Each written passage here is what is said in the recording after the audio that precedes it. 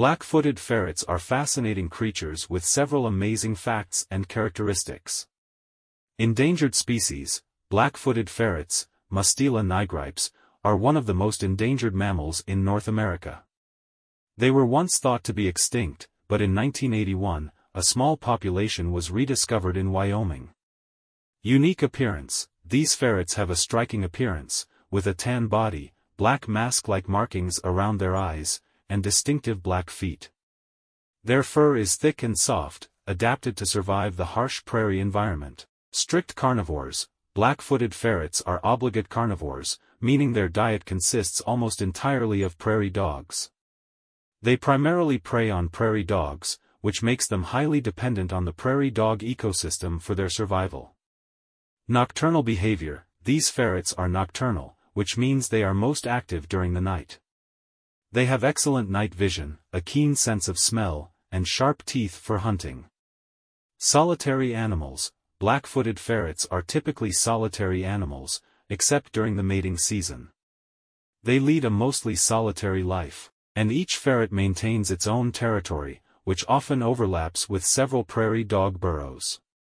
Underground dwellers, like prairie dogs, black-footed ferrets live underground in burrows. They use prairie dog burrows for shelter, safety, and raising their young. Short lifespan, these ferrets have a relatively short lifespan in the wild, typically living to be 2 to 3 years old. This short life expectancy is due to various factors, including predation, disease, and the harsh conditions of the prairie.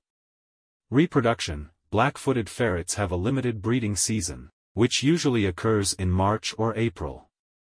After a gestation period of about 41 to 43 days, females give birth to a litter of kits, usually 3 to 5.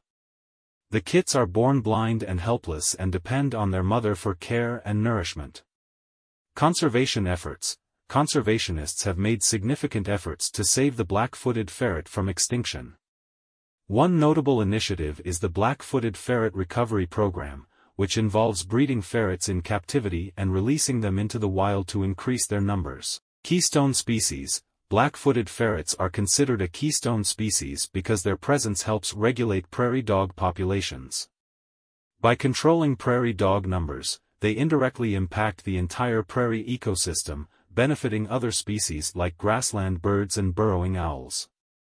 Historical decline the decline of black-footed ferret populations can be traced back to the widespread extermination of prairie dogs, habitat loss due to agriculture and development, and disease outbreaks such as sylvatic plague. Success stories There have been some successful reintroduction efforts for black-footed ferrets, with populations established in several states, including Wyoming, South Dakota, and Montana. These efforts offer hope for the survival of the species. Overall, Black-footed ferrets are a unique and critically endangered species that play a vital role in the prairie ecosystem. Conservation efforts are ongoing to ensure their survival and recovery in the wild.